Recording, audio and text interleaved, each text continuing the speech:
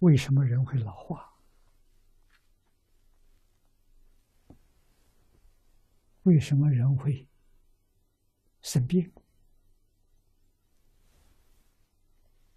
那就是新陈代谢的时候，他有老的观念。你看，过年了，啊，我们又长一岁了，长一岁了，我们又老一年了。啊，今年生的这个新生的细胞，比去年那个死亡的细胞要来的衰老。所以你老的念头吧，我老了。啊，小孩的细胞为什么看不出这个老化的现象？他没想到老。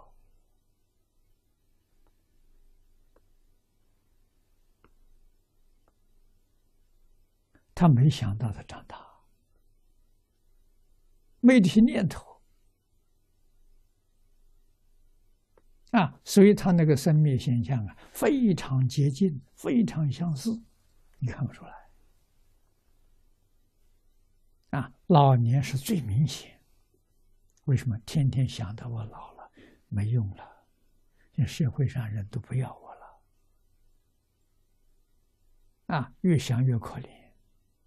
尤其现在社会，儿女不知道养老，啊，社会对老人不尊重，所以老人特别可怜。老人一生的付出，到晚年什么回报？我想到寒心啊，所以多少老人自杀了。那为什么呢？生不如死。啊，这种思想错误。啊，生不如死，死了还是解决不了。啊，死了可能比生更痛苦，后悔莫及。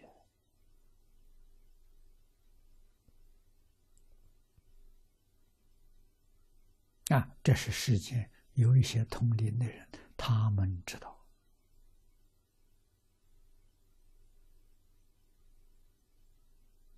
啊，在外国，从催眠术里头得到很多信息，那不是假的。一个人在催眠当中，回到过去，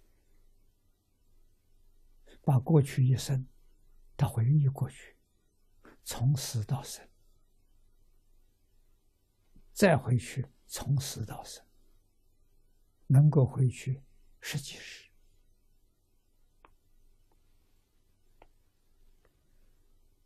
啊，知道现前认识这些人，过去生中就有某种关系。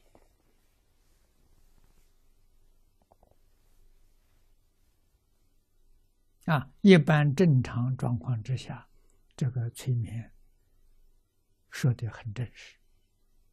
啊，那有大冤大恩。